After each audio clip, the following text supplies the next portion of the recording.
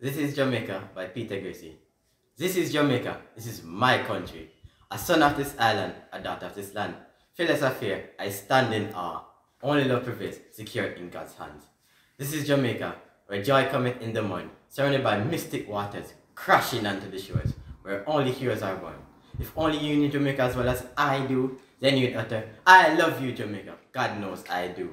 This is Jamaica, a simple speck in the universe. Our hearts beat and pulse in every nation, but only second to the kingdom of God.